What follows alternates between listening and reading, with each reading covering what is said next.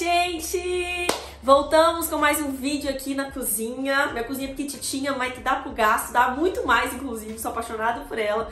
Pra gente fazer mais uma receitinha no Rei da Cozinha. Dessa vez, a gente vai fazer a segunda receita, que é a de doce. Pra quem viu aí, eu já soltei o primeiro prato, que foi o prato ganhador, né? Que foi o risoto com filé mignon, que inclusive eu amei, gente. No, assim, modéstia à parte, eu acho que ficou bom mesmo. Assim, o que eu fiz aqui em casa, né? Porque o de lá eu nem lembro mais. Tava tão nervosa que eu não lembro o sabor. Mas agora a gente vai fazer a sobremesa que eu fiz lá, que é um bombom aberto, né? E aí eu usei alguns ingredientes. É, gente, é uma receita assim muito simples. O que você precisa acertar é na consistência mesmo do doce tá? Eu já tinha feito essa receita antes aqui em casa e eu errei na consistência dela. Lá, Deus me abençoou, gente, assim, que ficou numa consistência muito perfeita, assim, deu muito certo. Mesmo tendo pouco tempo, a gente tinha, tipo, 30 minutos para fazer uma hora, sei lá, eu botei 20 minutos na geladeira, foi o suficiente e a consistência ficou muito boa. Vamos ver se eu vou acertar hoje. Acho que sim. Vamos ver se vai dar certo. Muito fácil. Os ingredientes são: a gente vai fazer o brigadeiro branco, com leite condensado, manteiga e o creme de leite para quebrar um pouquinho o doce, que eu acho que fica bom. Pra camada final, a gente de cima, né, a gente usa o alpino com creme de leite, coloca ali no banho-maria e enche. Lá no vídeo, eu esqueci, gente, de comprar mais uma barra para poder raspar e deixar bonitinho decoradinho. Então não vai ficar tão bonito igual ficou lá. Eu achei que ficou muito fofo, sabe, assim, a decoração. Não vou conseguir fazer isso aqui porque eu esqueci. Mas aí a última camada é isso. A primeira camada são os morangos, que eu vou colocar picadinho ali embaixo para quebrar o doce do doce, né? Não vai ficar tão, tão, tão doce assim que é coisa de doer. Tem que ficar uma coisa um pouquinho mais suave, senão fica ruim de comer, né? Doce demais assim, fica muito enjoativo. Apesar de eu amar, mas eu sei que tem gente que não gosta. Então, vambora. Já deixa seu like, se inscreve no canal. Vamos fazer a receitinha. Já estou com meus ingredientes aqui para fazer o brigadeiro. E aí eu coloquei aqui já ó, o morango. Gente, eu pensei numa coisa aqui só porque eu queria testar. Tá vendo que eu coloquei o morango só na metade? Por quê? Eu vou testar essa sobremesa sem o morango. O morango, ele quebra o sabor muito doce, né? Fica ótimo, eu gosto muito. Só que eu fiquei muito curiosa pra ver como é que seria ele sem o morango, ele só o, o bombom mesmo com o alpino. Pra ver se ficaria realmente muito doce como a gente tá gravando aqui, tá de boa, eu falei, ah, vou testar. Porque aí eu faço metade metade para entender o sabor, entendeu? Um teste de bobeira. Então vamos fazer o brigadeiro e depois a gente vai e faz a cobertura com o alpino no banho-maria, junto com creme de leite. Agora a gente vai começar aqui a jogar tudo na panela, ó. Eu, inclusive, eu vou jogar tudo com a panela seca. Ah, não, vou ter que esperar. Vou ter que esquentar, gente, porque eu acabei de lavar essa panela, então ela tá meio molhada. Eu vou ligar o fogo aqui embaixo para secar um pouquinho a água.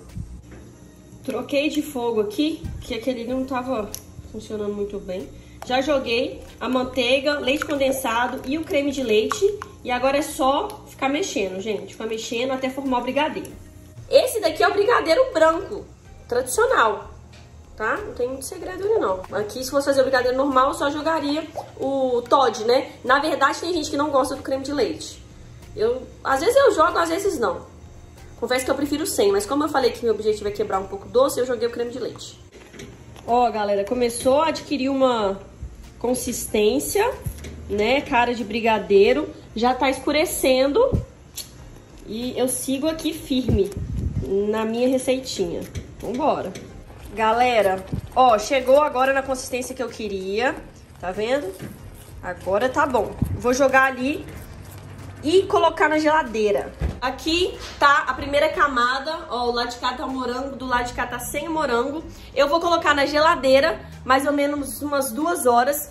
E só que na verdade antes eu vou deixar na geladeira e vou ali fazer o, o banho-maria, né? Com alpino e creme de leite. Depois eu venho e deixo duas horas aqui na geladeira. Acho que ficou meio confuso, né?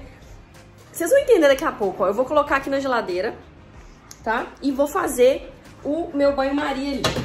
Bom, galera, aqui já está, ó, no banho-maria. Coloquei na água ali os meus ingredientes, meu creme de leite e o chocolate. Quando ele derreter, vai criar um... É um saborzinho gostoso. O Lucas tá aqui fazendo uma carninha pra gente. Aqui é um sabor bem gostoso. Não é de brigadeiro, é um sabor tipo um chocolate, né? Um chocolatezinho suave assim, pra poder fazer aquela cobertura. Bem fácil, gente, essa sobremesa. Ah, não, gente, mas meu, minha carne tá menor, Uai, mas que isso? É uma competição agora? Rei da Cozinha já passou, meu filho. Rei da Cozinha 2.0. Rei da Cozinha 2.0. Mas o Lucas tá fazendo um, uma carne ali pra gente comer com pão. Diz ele que é, fica bom demais. Depois ela conta pra você, gente. Depois pãozinho eu- de sal, molhar um pãozinho de sal nesse molinho aqui, ó. Nu. Fica bom então, né? Você tá doido. Muito bem, galera. Ó, nossas camadas já estão prontinhas aqui. Agora eu vou levar pra geladeira e deixar duas horas, como eu falei com vocês. Lá no vídeo, gente, é, lá na competição, eu tinha deixado, como eu falei, uns 20 minutos. E deu certo, tá? A consistência ficou muito boa.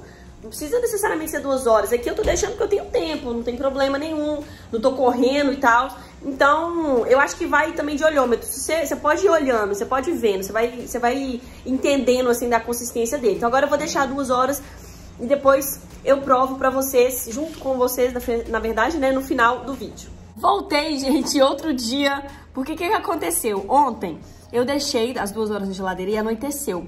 Aí o que que aconteceu? Eu fui tomar banho, fui resolver minhas coisas, limpei minha pele, não sei o que, prepar... Nossa, inclusive, o que, que é isso, gente? Agora que eu vi que metade do meu nariz tá sem base. Meu Jesus, olha isso aqui, gente. Não ri, não ri. É que eu fiquei fazendo tanto assim, ó, que saiu tudo. Mas enfim, o que, que eu tava falando?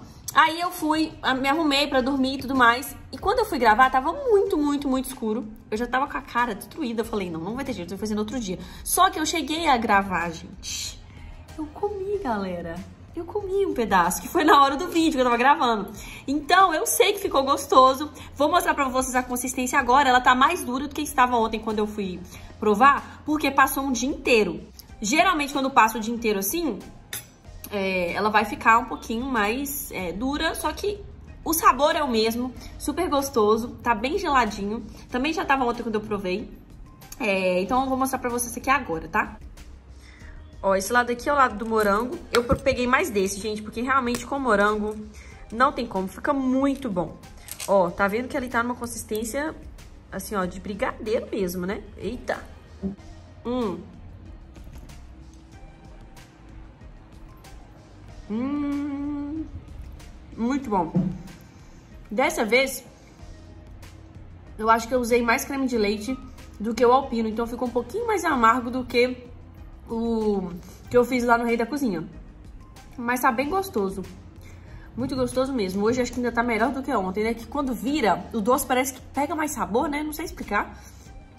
Sei, alguma coisa fica diferente. Mas eu vou deixar na descrição do vídeo aí todas, a, toda a receitinha, tudo bonitinho pra quem quiser fazer reproduzir. Lembrem-se, de novo, crianças, estejam sempre acompanhados de um adulto, tá? Quando for qualquer, fazer qualquer coisa na cozinha, gente. Isso aqui é coisa séria, tá? Mas é bem gostosinho, é uma sobremesa legal de fazer pra receber as pessoas, por ser fácil, por ser gostosa. Ela abrange várias tipos de pessoas, praticamente todo mundo gosta desse tipo de sobremesa. Então é isso, espero que vocês tenham gostado. Até o próximo vídeo. Um beijo, tchau!